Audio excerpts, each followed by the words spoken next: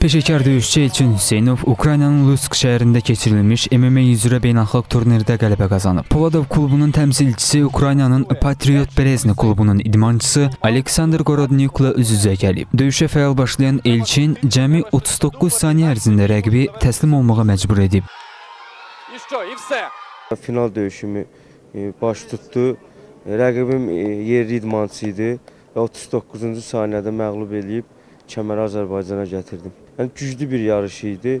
E, Ona baxmayaraq e, çempion olduq, öz sözümüzü dedik. Qarşıda e, inşallah Qazaxıstanda yarış olmalıdır.